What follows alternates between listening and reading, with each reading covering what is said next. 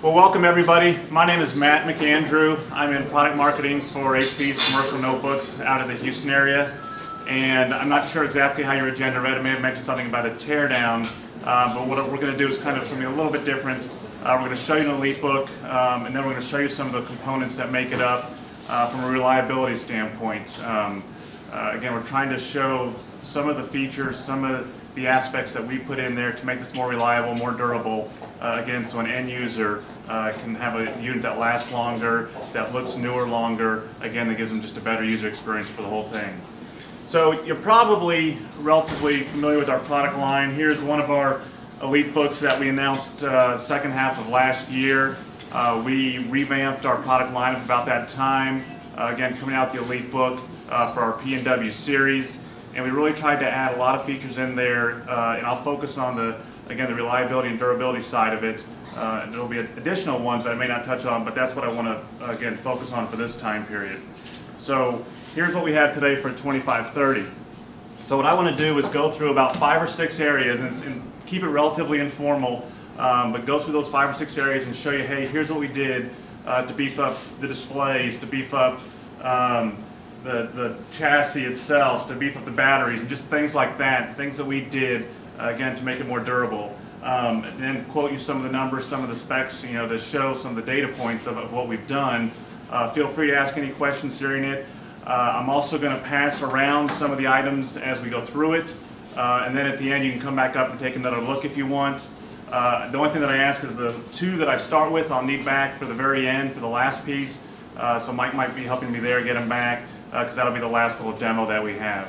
Uh, but again, I just encourage you to provide any comments, feedback, questions as we go because we have plenty of time. I think you know we've got plenty of time for the next one. So again, feel, please feel free to interrupt whenever you want. so I want to start with the display enclosures.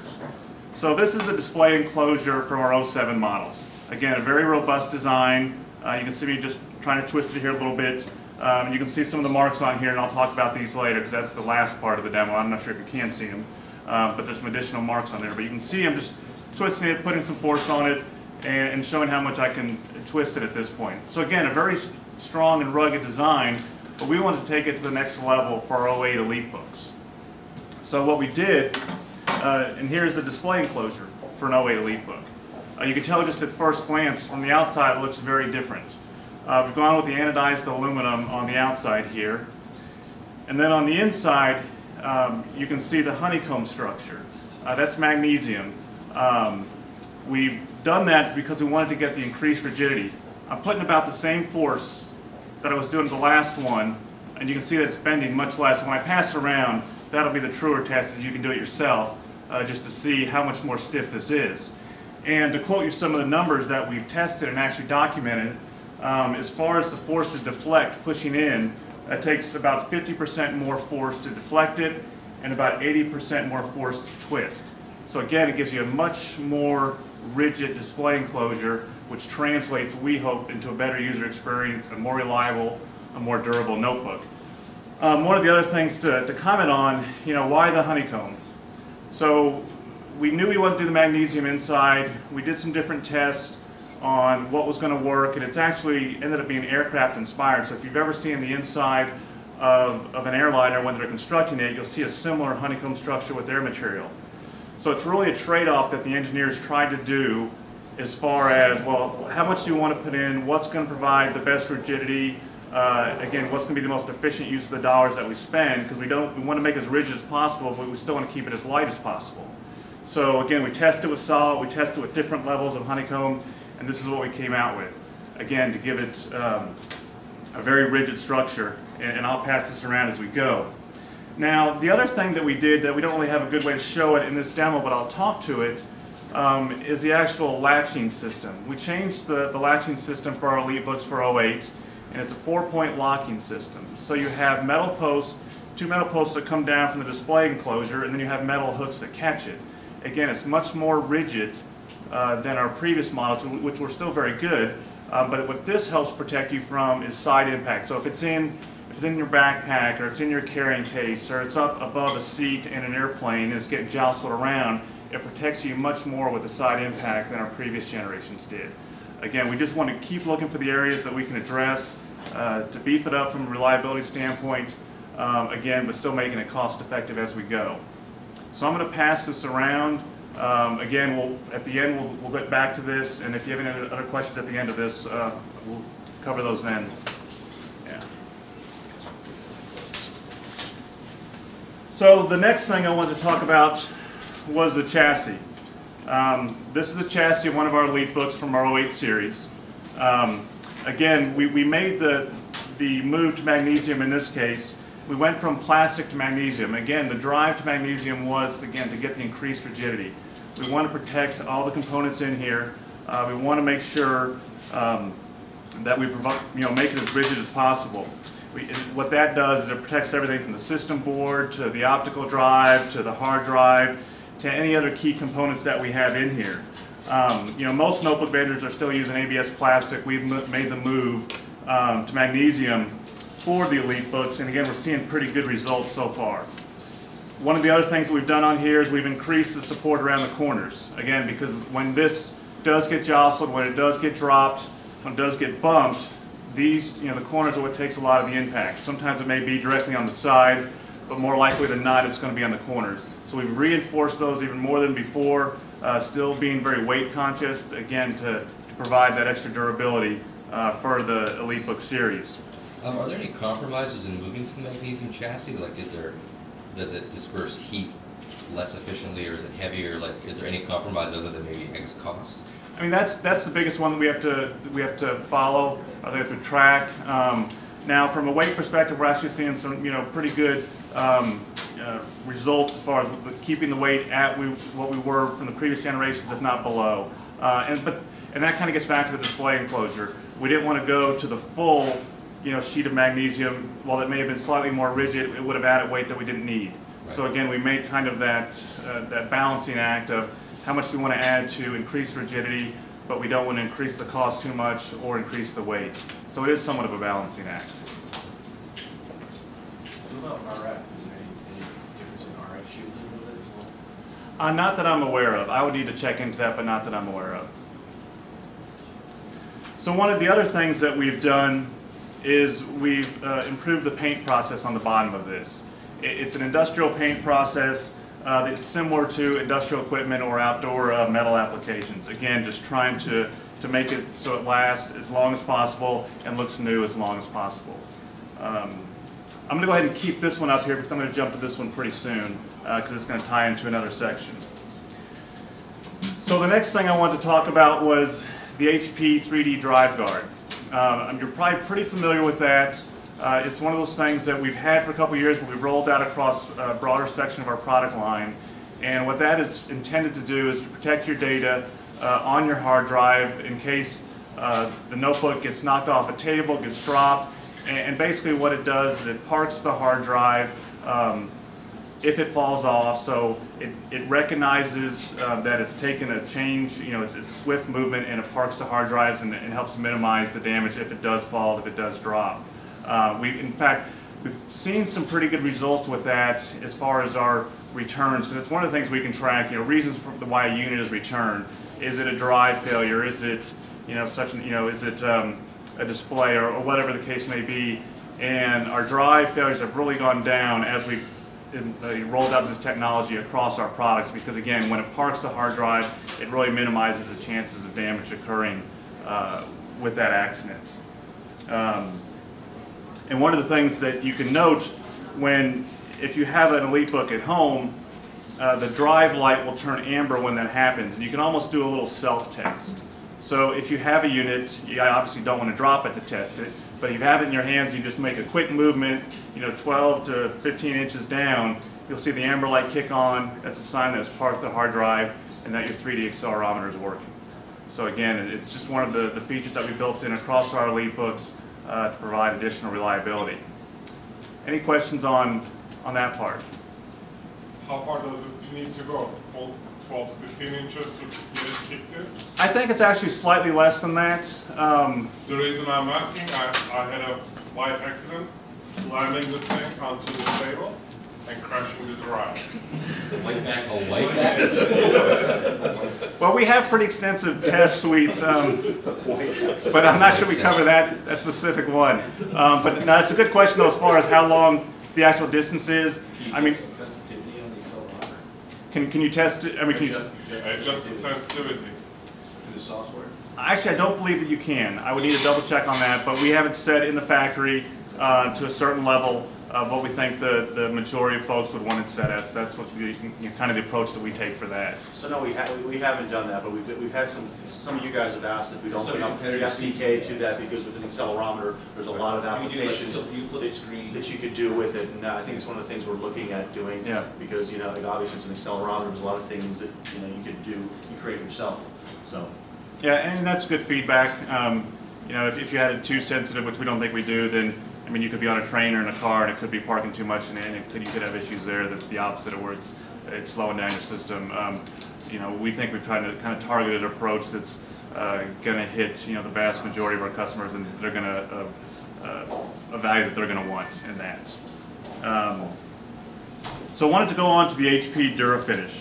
So, I don't know if you, um, if you took a look when we passed this around for the, the 07 model, you may have noticed the scratches on it. Um, this is from previous tests, we've done this, this demo at, at quite a few places.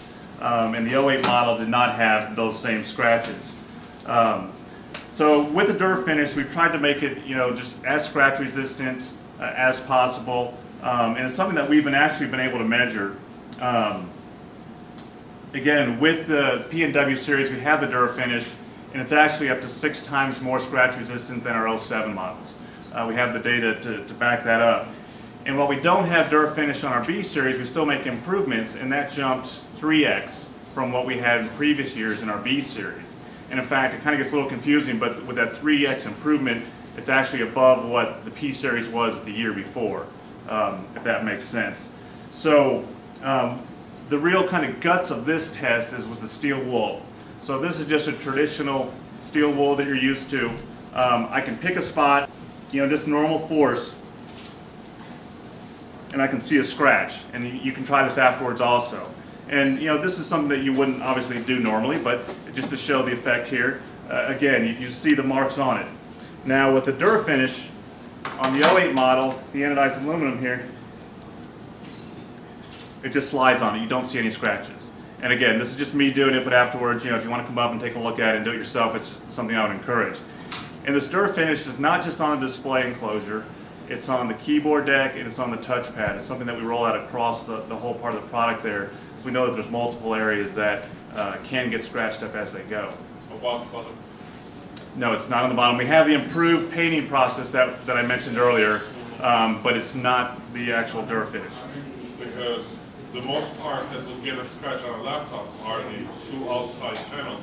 When it's coming in and out of, for example, bag or something else, Right? or you, you use it on a desk and, you know, you move it or whatever, what- whatnot. Yeah, no, and then that's a good point, and that's why we've addressed this area because it's it's the most visible to anybody. Um, whether it's to you taking it out of your bag, whether it's to somebody else when you have it open, it's easily the most visible. Uh, so that's the area that we focused on. But we still have the improved paint process on the chassis itself um, to help with that. Uh, but the DuraFinish is on the display and the touchpad, and then on the keyboard or on the palm rest area itself. So, so more, looking on enterprise it looks like you have more of a straight finish on the corner, but the consumer line has more rounded corners. Correct. So why is that? It seems like the round corner would make a, a better, better pattern more I mean, as far as aesthetically or as far as from reliability. Reliability. Well, we've actually seen, I mean, pretty good results with this, and I'll kind of, when I wrap up, I'll talk about some of the testing that we've done on it. Um, you know, they're both very strong designs, how the consumer's done it and how we've design, done it on the commercial side. Um, but the way they distribute the force on drops, on different things, uh, we've seen pretty good test results on this. Um, and again, it's different materials that the consumer would use versus us. So, you know, we have areas that we have a little more flexibility and vice versa with them. So it's uh, just kind of different approaches, not necessarily better one way or the other, but just different, uh, based on the materials, based on the, you know, uh, target folks who are going to be using them. Okay, I want to go on to the DuraKeys. And uh, the DuraKeys is kind of the same idea with the DuraFinish. You know, a lot of people have keyboards that, you know, they don't trade in their notebooks very often. So over the years, they're pounded on the keys and they just, the keys may not fall off, but the letters wear off. In fact, um, true story, I'm walking over here and I, I didn't see her name on her name tag, but the lady who was manning the door downstairs sees me carrying all these individual pieces up. And she makes, you know, a comment about it and she sees the keyboard. And then she says, you know, I really wish they'd sell the keys by themselves. And I'm so like, you know, I asked her, well, why is that? She goes, well, I really like my notebook, it still works well, but all my letters are worn off. And uh, I didn't prompt her, but I thought, well, that's a good story to tell when I get up here. So, so it definitely fits in. Um, and that's what we try to do because, especially with commercial notebooks, just the amount that they're used versus a consumer notebook, it really is key that we provide the durability here. And not that it necessarily impacts the functionality, um, because the keyboard will still work. But again, you don't want to have a keyboard that's a year or two old and you start seeing the wear from the, the letters that are getting hit the most. It's just, again, a user experience that we want to improve. Now, you know, it, it's easy for me to say that it's better, um, but some of the numbers that back it up, we've done some testing on it, and it actually is 50 times more resistant to wear than keyboards without the DuraFinish, without the DuraKeys. So it's really a big jump up for us. Uh, and again, this is across our P and W series. Then the other thing that we've done with the keyboard itself is it's kind of hard to see from a distance, and it may not show up on your cameras, uh, but I'll pass it around, is the Mylar film on the back. Um, and really, what we want to do there is make it as spill resistant as possible. Any notebook, short of a fully rugged notebook, um, there's a certain amount of liquid they're going to have an issue with, but we want to make it as spill resistant as possible. So with the Mylar film, it just helps push uh, any liquid away from the key components that are underneath the keyboard. Again, just trying to, yes? Now, do you push the liquid away to like vent holes so it drains out the bottom? We, we do not have drain holes on them. It's something that we're looking at. Um, and we know that we've seen it in some other uh, notebooks, um, but it's something we're definitely looking at.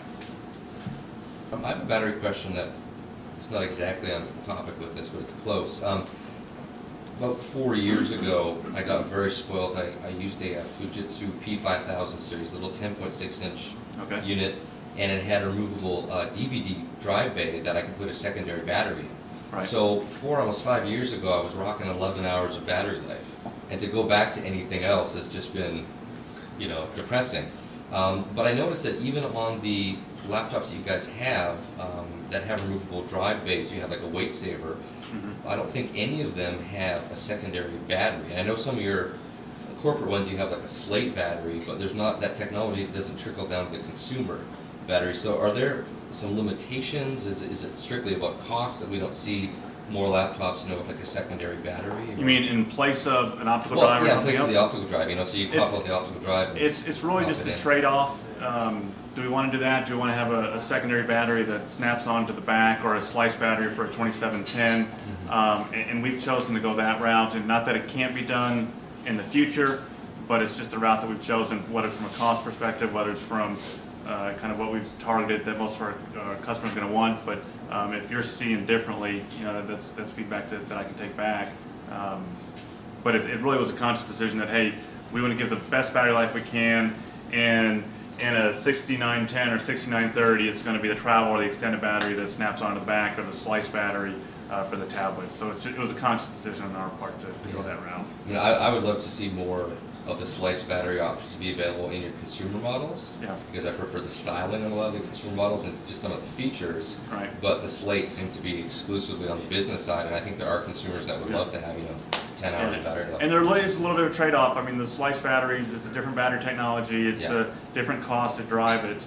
Um, So it, it may not necessarily be the best fit for all of our notebooks, but where, where it makes sense, we want to, you know, roll it out.